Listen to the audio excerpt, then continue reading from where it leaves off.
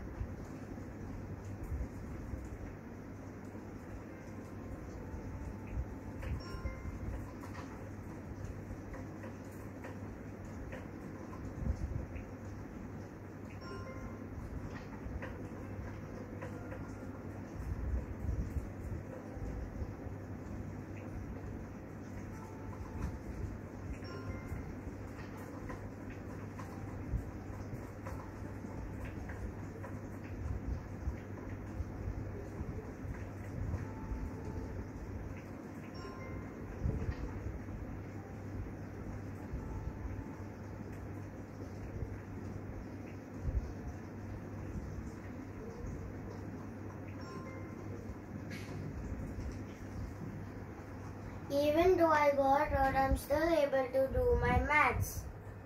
Thank you.